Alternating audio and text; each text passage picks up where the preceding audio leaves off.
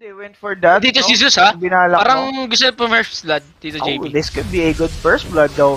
Naando na yung toss. Miracle waiting for his food and Shibe will be the first one to fall. That's gonna be the first blood. Brought to us by PNXBet. Huwag na huwag nyo kakalimutan na mag-register using our code WXC. And guys, if ever may tanong, mag-PM lang sa Easier to escape on the top lane. Miracle naman yung napapahirapan Kuroki. Nahaharas din Oh. dito nitong si Kuya mong Kidaro, mga kaibigan. I would say Kidaro, napakaganda ng ay, sumail kahit pa paano, no? Nakakabawi-bawi, pero focus Paya and Sibe. Na-focus na nga dito ngayon nitong si Miracle. Focus lang sa goal. May dispose ba? Yun yung katanungan. Nawala. Mga kaibigan, tama lang naman yung pagkakabigay ng rebound. Dispose na nga lang si Tiny. Tinigilan niya ngayon itong si Miracle. Miracle with the shackle shot. That's gonna be the Sunstrike. Not expect. Kill per minute yung nangyayari. Dispose. That's gonna be a dead GH sa kamay ni Supreme who's now dominating. Kutari. Kumbaga, ay, Kidaro, sorry, ni Kidaro. Lagi niyang ini-invade dito yung hard camp sa may triangle para ma-check niya kung may stock itong NGX. Pero Team Verso, kung anong delikado ata sa is trying everything para nga makapalag dito ngayon. Good chrono into the Sunstrike. Nakatikim na nga po ng combo. Licious Papa Ball. Itong si Timbersaw. Wind Ranger on the top lane will also fall. Pati po dito ngayon si Kuya mong Ari naman. Na mabibiktima ba siya ng Nigma? Yappy Noodles. That's gonna be the Arc Lightning to get that kill. Double kill for GH. So Male chasing Kidaro down. There's gonna be the Wolves given information. Kidaro spotted, lighting bolt out. Supreme Unstoppable is finished off Kuroki on that mid lane pero itong si Kidaro naman naging trade-off. Sobrang ano niya, mobile niya sa team fight. And la- mas lalo niya mababuff dito yung kanyang voice spirit. Pero Kuroki spotting these two, Avalanche into the toss, Marcy is in danger, mananakit siya dito Naku, ngayon. nagkamali, na-dispose. napaganda ng pagkakasakil and that's gonna be Supreme falling down from the hands of Miracle with 475G dahil nga dun sa 6 time para sa Nigma. Pero we're not saying that they are back right away. The toss in. And like right now, Kidaro, mga kaibigan, nahabulin pa rin naman dito nitong si Mind Control. Kidaro dodging that Chakram. Shackle won't latch onto anything, but surely Kidaro is buying so much time para dito sa side ng Enigma Galaxy and Mind Control will just escape with that Timber Chain. He'll be slowed by that rebound. Otaker with that Chronosphere into the Sunstrike. Sabay drop ng kanyang Nether Toxic Boy pa si Mind Control mga kaibigan surprisingly papalag pa etong Nigma Galaxy. Ari disposing ito naman po si Kuya mo Wind Ranger Kuroki will not fall. Tornado connecting para dito kay Sumail. There's gonna be the best napaganda pero Miracle niya wala na magawa pa. Ito pa si Sumail may iwan na pati si Miracle patay pa. Double kill for Ari and GH the lone survivor sa Sumail Napop na niya yung sword pero hindi niya nakita saan manggagaling yung tropahan. The dispose. So Male is going low. He's a dead man walking and Shibe getting that kill. Dito, immortal sa team fight. Yung ganong klase, yung ganong state, no? Pero wala si Wind Ranger dito sa laban na to. There's gonna be the Rat revealing the position of ITB. Kidara will fall first. That's gonna be 4v5. Actually, 4v4 kasi wala din naman dito ngayon itong si Kuya mo Miracle. At eto na nga po ngayon ITB. Magre-ready ba sila dyan? Kahit wala, sorry, sa main jungle ng ah, Nigma. Napakaganda naman ang pagkaka-dispose. Pero mga kaibigan, yung toss nandun na yung Corona. Dito pa, pero patay muna itong si Miracle. And that's gonna be Nigma Galaxy failing to respond quickly. Two heroes downside na Nigma and a free tower push for ITB if they wanted to. Pero yung mid, ayaw ibigay ng ITB. They wanna fight. There's gonna be the shape shift. But look at Sumail. Mananakbo kay Shibi. Focus fire para sa kanya. Mga kaibigan, sinakels na. Itong si Tropa, Wrath, binigay pa. And Shibe, matagal-tagal man bumagsak, patay pa din. Pero yung Corona nandito na nga itong si Kuya mo Wind Ranger, kasama pa sa Dreams. Napaganda. Si Ari na lang ata. Try, pero maagang mamamatay si Ari. Wala siyang mabibigyan ng rebound. Udaker jumping in. He does not have the chrono just yet. 40 seconds down yan. Pero alam ng ITB na kailangan nila mag-back deafening blast connecting dito sa 2. Definitely. And this will stop or delay the push na gustong gawin ng Enigma Galaxy but still they want to run down their enemy team regardless of their status.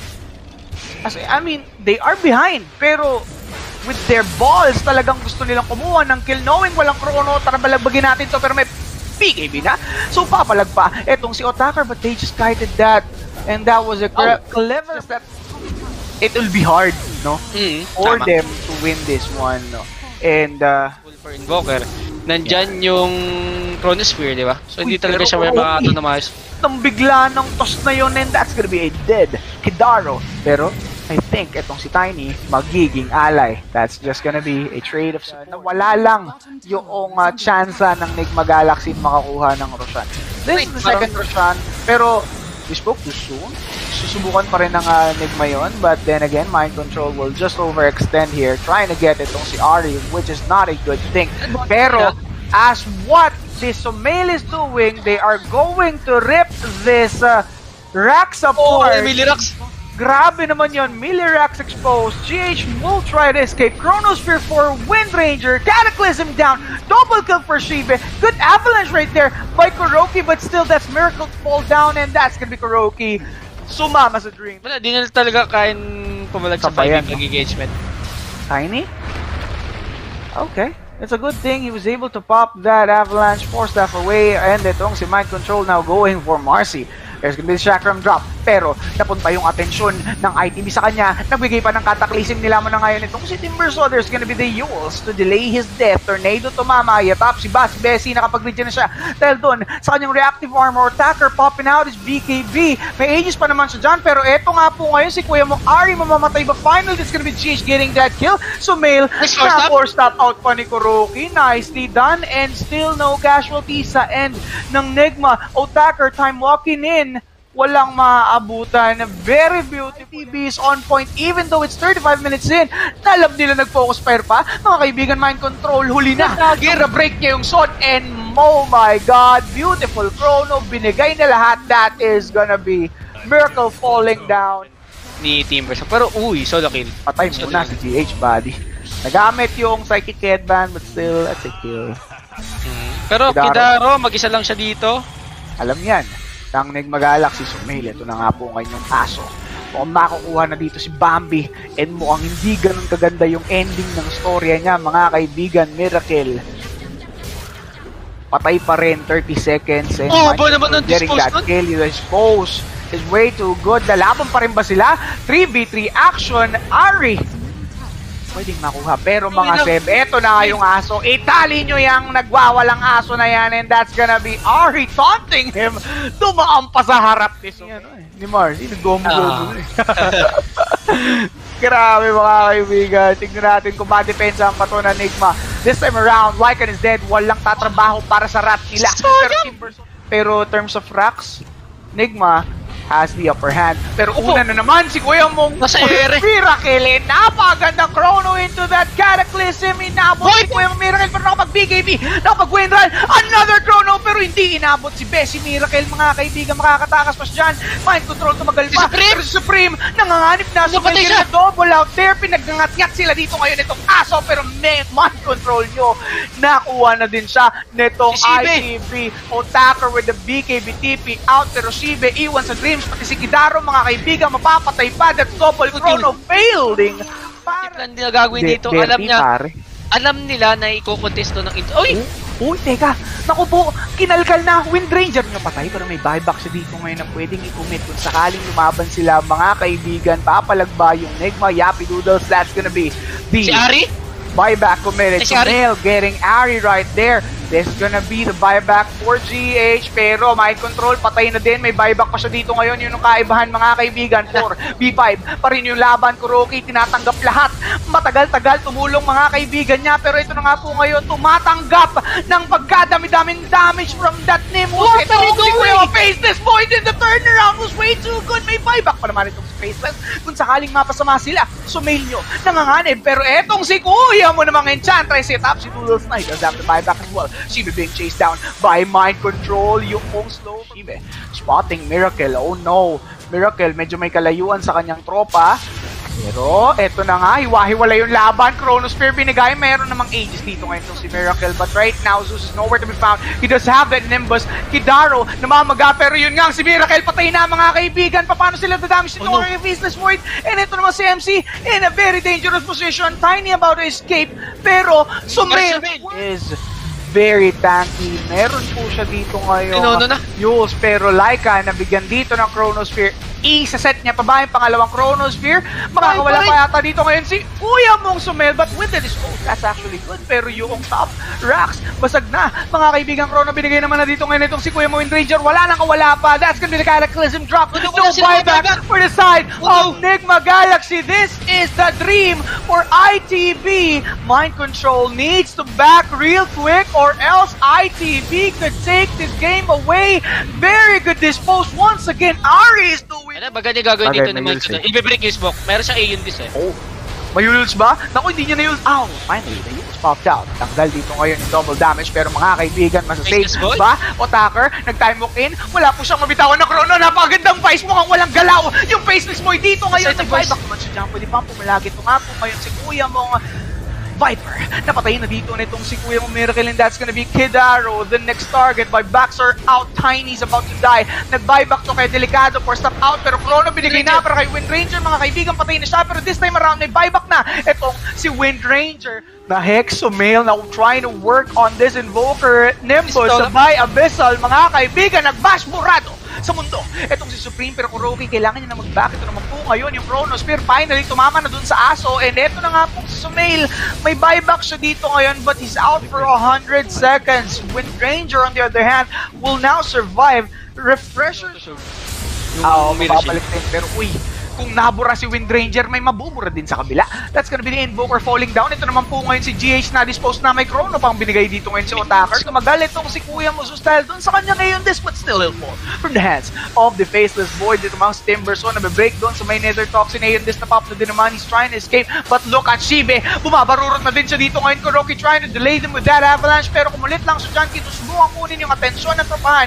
Pero look at Timberson falling low. May buybacks pa naman yung Nigma Galaxy dito ngayon. Tamang bigay lang din naman ng Gleipnir for Kuroki. Kuroki will fall down and that's gonna be three heroes down. Sa side, Yung Invoker mamaya pag may smoke. chrono pa si Otaker ha. Miracle, delikado dito ngayon. That's gonna be the link and popped out. Get disposed coming from Ari. Chronosphere alone. Dito Windbreaker! ngayon, Miracle, pero the Windbreaker save delay in that one. But still, the damage will go through. Wala na silang Chronosphere. fall down. Pero yun na nga yung buybacks ng Nigma Galaxy. Nagamit na nila. Those supports popping that out right away. Kidaro naman, gusto nga dito ngayon nitong si Kuya Montember. But GH in a very bad Nakabaybakan na. Nice dispose. Nagkabaybakan na indeed. GH masasave na naman dito ngayon si Kuroki. Meron pa nga pong wind um, uh, Waker coming from Mind Control. So Mel working here sa my bottom lane pero makakaharap niya the real carry of ITB. Shackle shot. Hindi naman po nag-latch sa kung saan man. Kidara will be dis- delayed here sa kanyang pag-escape. And I think yung on nga po si Enchantress patay, Sumail patay pa. Pero may buyback sa Sumail if I'm not mistaken. Yep, may buyback. range rocks. Up into the B. Ay, ay, Supreme.